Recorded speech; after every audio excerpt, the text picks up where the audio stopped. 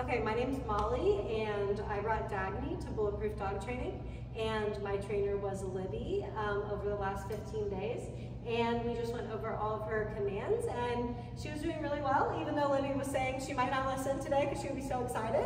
Um, she is so worn out from puppy camp. I'm so excited to get her home and see how she does with everything. So.